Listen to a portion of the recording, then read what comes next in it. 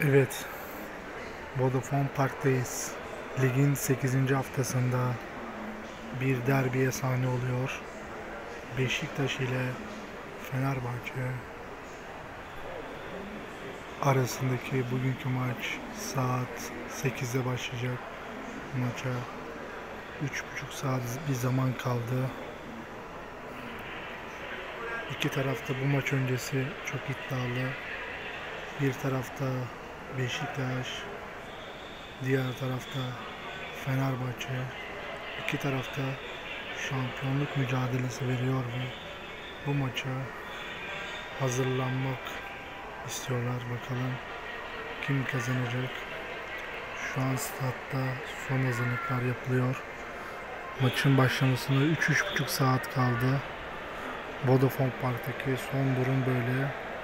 Sizler de maç hakkındaki yorumlarınızı, düşüncelerinizi alalım. Yorum kısmına yazın. Maç hakkındaki düşüncelerinizi. Bugünkü maçı Fenerbahçe mi kazanacak, Beşiktaş mı? Beşiktaş'ın kadrosunda kalede Ersin'in oynaması bekleniliyor. Defansta Rozier, Sayis, Museka ve yeni transferlerden Adana Demirspor'dan transfer edilen oyuncu oynayacak. Bakalım iki tarafta maç öncesi iddialı. Beşiktaş mı kazanacak? Fenerbahçe mi kazanacak? Göreceğiz.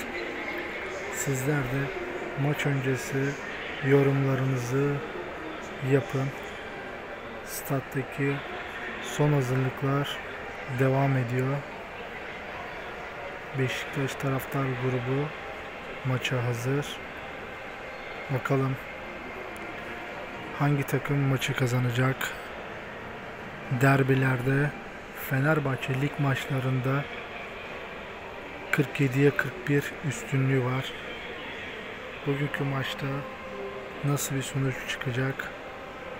Fenerbahçe ve Beşiktaş'ın Fenerbahçe'nin 14 puan, Fenerbahçe'nin 13 puanı var, Beşiktaş'ın 14 puanı var.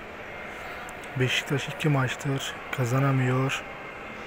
Burada Vodafone Park'ta Başakşehir'e 1-0 yenildi ve sonra Olimpiyat Stadında iki kez öne geçmesine rağmen İstanbulspor'la 2-2 berabere kaldı.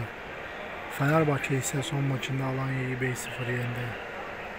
Maç öncesi stat'taki görüntü bu şekilde. Bakalım hangi takım kazanacak? Yorumlarınızı bekliyorum.